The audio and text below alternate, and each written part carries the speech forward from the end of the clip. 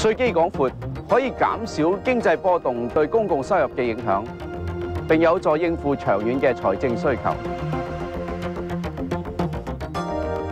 我哋应该保持香港嘅简单低税制维持竞争力。喺呢个原则下税基广阔嘅新税项事宜咨询委员会研究咗不同嘅方案进行公众咨询。我哋期待听到你嘅意见。